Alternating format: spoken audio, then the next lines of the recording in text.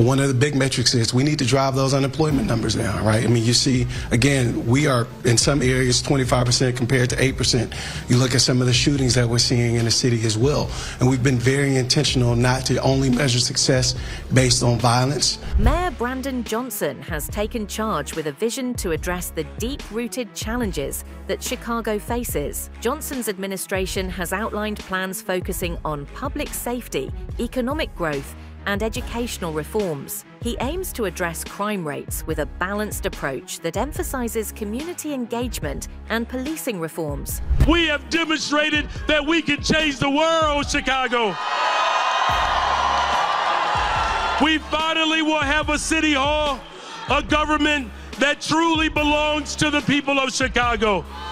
That Chicago can truly be a safe, world class city as remarkable as its potential. We get to make sure that our hopes and our dreams do not have to stop and end today. We get to make sure, you all, that the people of Chicago will finally have what they've been waiting for. The most radical thing we can ever do, you all, is to actually love people. And our administration will do just that.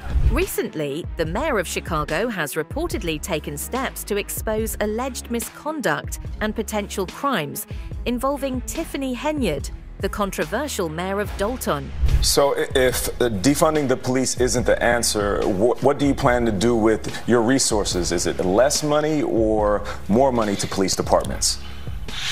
Well, it's it's more money towards the the areas of needs, right? And as mm. I mentioned before, you know, we're working to double the amount of young people that we hire, um, not just for summer jobs, but for year-round positions. I got some advice. If you can, move out of Chicago right now.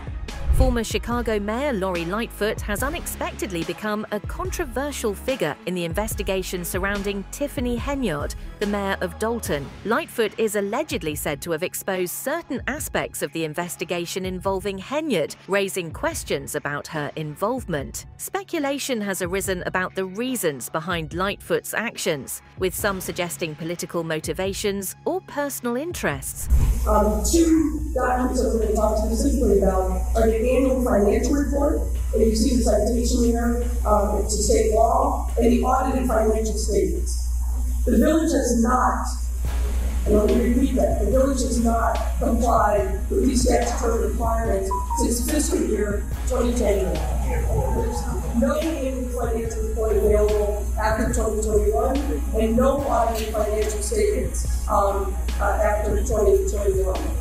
So what that means is the information that we're providing you has not been thoroughly audited by a CPA, but we do have information coming from an, uh, an entity that essentially serves uh, as the finance department uh, of the village. Historically, from what we can tell, the village had small or no um, full-time financial staff. Um, at various times, even though statutorily uh, there's a provision for a city treasurer, not exist it hasn't for some time. There's a provision for uh, a finance director. There's been intermittent people that have served that role, but that role has been taken as of May of this year. And before that, the person who held the role started working part-time as of the end of December in 2023. In a surprising turn of events, a trustee from the village of Dolton has allegedly decided to blow the whistle on Mayor Tiffany Henyard, accusing her of multiple wrongdoings. This decision has intensified the scrutiny on Henyard's administration, with the trustee reportedly providing insider information that could impact ongoing investigations. WGN Investigates has learned South suburban politician Tiffany Henyard has lost another key ally. Until recently, Henyard enjoyed near unanimous support on the Thornton Township Board, but now trustee Carmen Carlisle says after trusting Henyard and remaining silent, she will be a whistleblower against Henyard. Carlisle released a statement to WGN that reads in part For the past two years, Henyard has manipulated employees, vendors, and residents using her position to increase her influence, all while projecting a false image of success funded by the hardworking taxpayers of Thornton Township and the village of Dolton. Henyard shows no accountability or conscience for her actions against employees or taxpayers. Henyard has denied wrongdoing and claims her opponents are out for what she calls clickbait. Tomorrow at 9, tune in for exclusive new reporting on Henyard's spending that she tried to keep secret. Mayor Tiffany Henyard has allegedly faced questions regarding her official and unofficial trips, sparking criticism from trustees and residents alike. When pressed for answers about the nature and funding of these trips, Henyard reportedly attempted to avoid direct responses, raising suspicions about their legitimacy. I do not handle anything as relates to with credit cards. As you heard me speak today in my board meeting about, I do not handle that. Some of those charges are for you, though. No, sir. You didn't go to Las Vegas? Mm, What, what is that? no comment. You don't know if you were in Las Vegas? Of course I do. Were you? It's not paid by them. Did you fly first class to Las Vegas?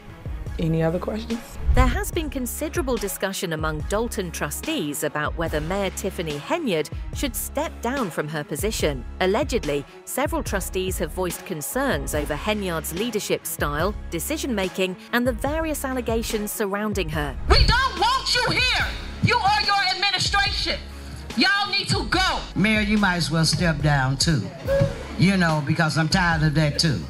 You know, this is a disgrace that you have done to this village. Tiffany Henyard has allegedly been linked to numerous controversies and criminal allegations during her tenure as mayor, making her one of the most controversial figures in Dolton's history. Reports suggest that Henyard has been implicated in various unethical practices, though details remain unverified. The nature of these allegations includes financial mismanagement, misuse of power, and conflicts of interest. Just four days ago, she fired the chief of police because he was investigating all of those credit card receipts and all those claims of her funneling taxpayer dollars into her privately owned cancer awareness charity, which you cannot do. In one of those investigations that the chief of police was investigating, it stated here in this tweet, and shout out to this person for tweeting this. They said uh, Mayor Tiffany Henyard is one of the most corrupt ever. She actually hired a child offender overpays her police officers she does she overpays her police officers um, to be her security which what do you need sec- that much security for you're a mayor of a town with about 20000 people one of the officers was paid $13000 in two weeks for 300 hours of overtime because nobody believes that. Nobody believes that anybody worked 300 hours of overtime. So some this has to be investigated because it looks like these numbers were being padded. So the chief of police or the ex-chief of police had his attorney investigate these claims and they're stating they're standing behind them that there were uh, allegations of corruption and he was investigating them. Now I'm going to do a little bit more digging because I think there's a lot more to know about this Tiffany Henyard story because child because anybody who shows up to a city town hall meeting dressed like Nino Brown is definitely doing something that they shouldn't be doing. Moreover, from allegations of misusing public resources to questionable administrative decisions, Henyard's leadership has been a subject of intense public debate. Tiffany Henyard is the most controversial mayor in all of America. So this mayor named Tiffany Henyard is the mayor of a place called Dolton, Illinois. And essentially every single resident in Dolton wants Tiffany out of office. This is mainly because Tiffany's very controversial use of taxpayer money. For starters, Tiffany has a full security detail that goes everywhere with her in the town. This security detail is estimated to be about 250k a year. In addition to security, Tiffany also uses taxpayer funds to do things like buying billboards with her face and name on it. She also puts her name all over government vehicles and buildings throughout the town. And she even has her own 2024 calendar. And of course, she put her own birthday in the calendar. Now, in addition to all of this, Tiffany has also made it extremely hard for anyone to run against her. Currently, she makes around 225k a year. However, if someone were to run against her and win, they would not be getting anywhere close to what Tiffany's making.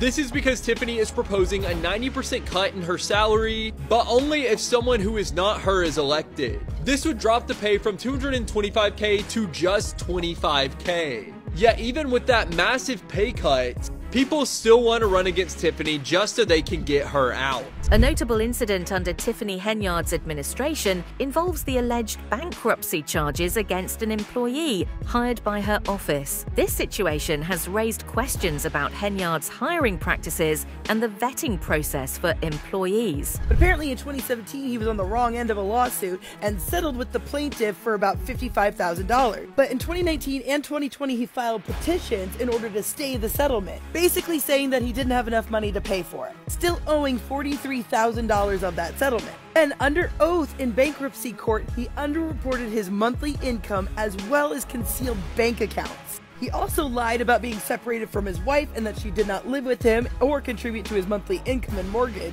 All of this so that he could understate his income. So now he's facing a nine count indictment, including bankruptcy fraud, making false statements, and perjury. And each count carries a maximum of five years. And I just want to make it clear to the people in my comments who are making this racist don't. I will delete your comment and possibly block you. And this is why I usually don't do stories of women in color in a negative light for that exact reason. But part of my platform is uncovering corruption. And this woman is a narcissist. Like, this was literally a poster about an event she held this weekend, giving out free book bags to kids for school. And here we have Tiffany Henyard, big letters across.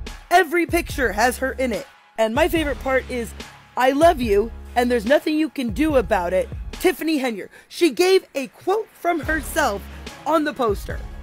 That is next level. At a young age, Tiffany Henyard has been described by critics as inexperienced and allegedly unprepared for the complexities of her role as mayor. Detractors argue that her actions and decisions reflect a lack of maturity and understanding of municipal governance. There's a real life Parks and Rec situation going on in a small village outside of Chicago thanks to this mayor, Tiffany Henyard. And with George Santos leaving the House, this is the new funniest, most corrupt politician in the United States of America. I learned about Tiffany today when I read an article about the ordinance she's putting in that states if she loses her reelection to be mayor, the mayor salary will be decreased from $225,000 to $25,000. But if she wins, it will stay the same. When I read that, I realized I had to learn everything about this woman. And as it turns out, the 90% pay cut doesn't even crack the top 10 of the most corrupt things that this woman has done in a short year that she's been the mayor of Dolton, Illinois. If you're on a highway near Dolton, Illinois, you will see billboards of Tiffany Henyard. These are all billboards that are paid for by taxpayers, and they advertise things such as senior services and free fresh produce. Tiffany always puts her face and name in huge letters opposed to the actual thing it's advertising in order to uh, get her name out there. And as I said, this is all paid for by taxpayers. Tiffany recently went to Las Vegas with a few of her friends to attend a conference while there, she spent all of this money on airfare, hotels, and then money at restaurants like Ruth Chris's, Cafe Hollywood, Hot and Juicy Crawfish. And this was all paid for by the taxpayers because she was there attending a conference. One of the more bizarre incidents involving Mayor Tiffany Henyard was her participation in a dance video with police officers, which sparked widespread criticism. Allegedly, this video raised questions about her use of police resources and the appropriateness of her actions as a public official. Critics argued that the dance video was unprofessional and detracted from the serious issues facing Dolton, such as public safety and community relations. She's also recorded a music video with taxpayer dollars. It's not even her own song, it's just her singing over it. I mean, this is a legit comedy show. I can't wait for the documentary about this. Look at her with the cops. And the crazy thing is, all of the things I've mentioned, this is it's only the tip of the iceberg with her. I could do a 10-part series on Tiffany. She she is the most iconic politician running right now. She just does what she wants and then she she, she just she just keeps it moving. She goes, I'm gonna keep spending taxpayer dollars. I'm gonna have to do a 10 part series on this woman because she may be the GOAT. The public has been largely surprised and skeptical about former Mayor Lori Lightfoot's alleged involvement in investigating Tiffany Henyard's case. Many did not expect Lightfoot to be connected to the Dolton mayor's controversies, given the significant difference in their political spheres. I did not see this update coming. Y'all remember Tiffany Henyard, the mayor of Dolton, Illinois? First, she was accused of using taxpayer money to fund her lavish lifestyle. Then, when the city council unanimously voted for an investigation, she vetoed it. Then last month, a member of her staff accused her of covering up an essay that happened on one of their business trips. Then this week, after a city council meeting showed overwhelmingly that the people want her to step down and resign, the board of trustees has appointed the former Chicago mayor, Lori Lightfoot, to lead the investigations into the essay. If you're not from the Chicago area, you may have no idea who she is and ask, why is this a big deal? Because Lori Lightfoot was an awful mayor, corrupt mayor. She lied about everything everything she wanted to do in office, and after only one term in office, she was voted out in the primaries. Oh, and she didn't lose by just a little in the primary. She came in third. She was forced out of the job in disgrace. Literally last month, a book was written about how terrible she was as a mayor. So why would the trustees hire somebody who is terrible at a job? Well, that's because one of the trustees is the person accused of essaying the staff member. So the person that the investigation is about is the one who got to hire the investigator. I do not trust her, and I do not trust her. And Lori Lightfoot is under investigation herself. The investigator for the Board of Ethics found that Lightfoot failed to uphold her fiduciary duty to the city, misused city property, and solicited campaign contributions from employees that she supervised. Federal investigations into Tiffany Henyard's alleged actions have reportedly intensified, with rumors circulating that she may face serious legal consequences, including potential jail time. These investigations are said to be focused on a range of allegations, from financial misconduct to misuse of power. South Chicagoland's super mayor might be going to a supermax prison very soon. The FBI issued multiple subpoenas in the last week, and now we know that a federal grand jury has been investigating Tiffany Henyard for corruption since November. I do not know what more they need to see. The residents of the town literally had a rally called Take Our Township Back last week. It won't be her first time behind bars, but unlike when she was arrested for vehicle trespass, she is now facing 22 criminal charges, and her own lawyer just dropped out because guess what? She hasn't paid her bills, and the city now owes as much as $20 million. This is what happens when people who do not earn their position of authority get access to power. If you didn't know, while she was voted mayor back in 2021, the vast majority of her income and power really comes from her position as township supervisor, where she makes over $220,000 a year. But she only has that huge salary because she inherited it with the position from the predecessor who passed away. Tiffany actually passed an incredibly shady ordinance, so if somebody defeated her in the next election, their salary would only be 25 grand. So it's literally not worth it to run against her. You know it's a bad situation when the residents think the best idea is to bring in Lori Lightfoot for $400 an hour. It's so frustrating how slow the wheels of justice turn, but it feels like this story is starting to accelerate, and I hope that Dolton citizens don't have to wait much longer to see her in an orange pantsuit. Questions have been raised regarding Tiffany Henyard's salary, which critics argue is unusually high for a mayor of a small town like Dolton, with a population of around 20,000. Allegedly, her compensation package has drawn scrutiny as residents question the justification behind such a salary. Keep that in mind mind when I go through some of the allegations against this mayor. So not only does she serve as the mayor of this village, she's also Thornton Township supervisor. Now, she is being accused of historic historic misuse of taxpayer funds to the sum of First of all, using the local police as her own personal security detail, costing up to $1 million.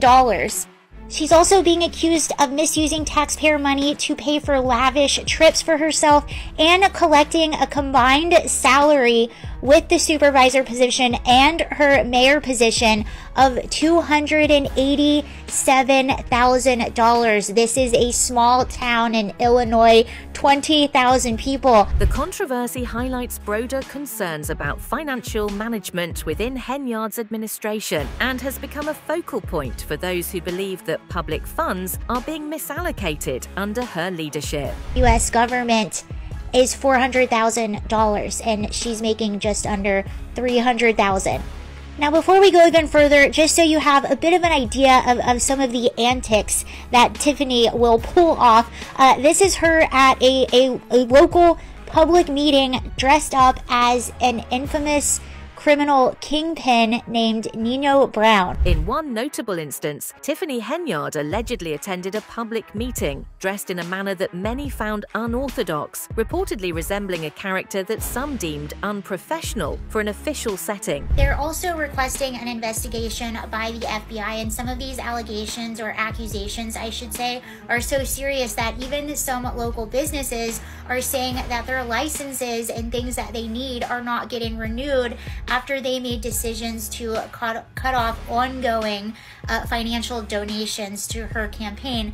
So it's a pretty big deal. And this is one of the things that she was questioned on. She has this foundation, a cancer research foundation, that people are also wanting an investigation into as she has not disclosed how she has used taxpayer money in that, in that foundation. This incident raised eyebrows and fueled further criticism of Henyard's approach to her role as mayor. While some defended her right to express herself, others felt that such actions were inappropriate for a public official and reflected poorly on the professionalism expected of a mayor. The event added to the ongoing narrative of controversy surrounding her tenure. It's describing the moment in which she dressed up from that clip I showed you earlier of Nino Brown. So she did this at a board meeting. Not only that, now I'm assuming that taxpayer funds were used to pay for all of this. So she dressed up as him, uh, her ensemble included a stuffed toy dog at her side, just as Brown had a real one in the movie. Uh, also, she brought in a DJ. Uh, during the meeting, Henyard had the DJ punctuate her political points with musical cues, including Rihanna's hit single Be Better Have My Money, where she demanded trustees approve a bill for a village ice rink that is one of two ice rink trustees say they never authorized spending money on. That's it for today's video. Stay tuned until next time.